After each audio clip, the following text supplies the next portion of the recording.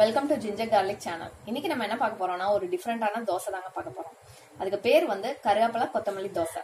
இது எப்படி செய்யறதுன்னு பார்க்கலாம். இதுக்கு தேவையான பொருள் என்னென்னு பார்க்கலாம். ஒரு கைப்பிடி அளவு கொத்தமல்லி ஒரு கைப்பிடி அளவு கருவேப்பிலை அப்புறம் ஒரு நாலு முந்திரி பருப்பு ஒரு மூணு பச்சை மிளகாய். வாங்க இதை எப்படி செய்யறதுன்னு பார்க்கலாம். ஃபர்ஸ்ட் இதை வந்து நம்ம மிக்சியில் அரைச்சு எடுத்துட்டு வந்துடலாம்.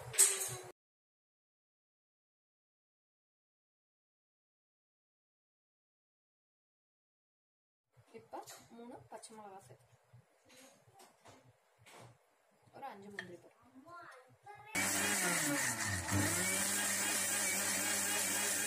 இப்போ நம்ம மிக்சியில் அரைச்சு எடுத்துட்டு வந்தாச்சு.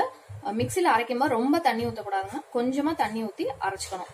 கொஞ்சம் கெட்டி பதத்துக்கு அரைச்சிக்கோங்க. இப்போ நம்ம இதை மாவில் மிக்ஸ் பண்ணிடலாம்.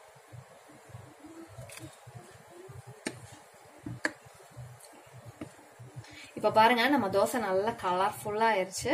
இப்ப நம்ம தோசை ஊத்திக்கலாம்.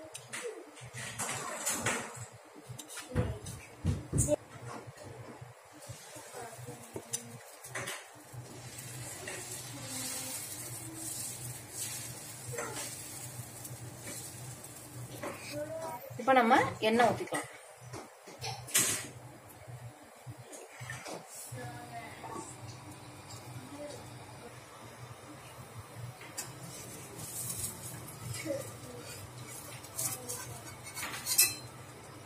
இப்போ தோசையை வந்து நம்ம திருப்பி போடணும். இப்போ நம்மளோட கருவேப்பிலை கொத்தமல்லி தோசை ரெடி ஆயிடுச்சு பாருங்க.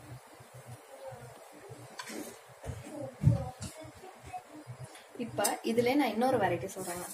தோசை ஊத்திட்டு இதுக்கு மேல கொஞ்சம் ஆனியனை தூவி விட்டு நம்ம போட்டோம்னா சூப்பரா இருக்கும்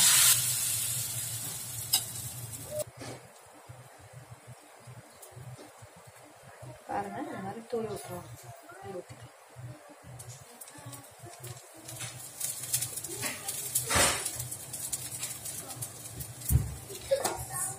திருப்பி போட்டுருவோம்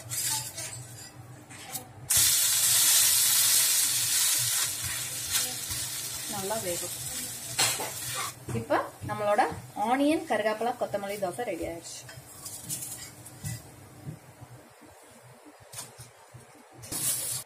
இந்த மாதிரி ஹெல்த்தியான ரெசிபிஸ்க்கு ஜிஞ்சர் கார்லிக் சேனலை சப்ஸ்கிரைப் பண்ணுங்க.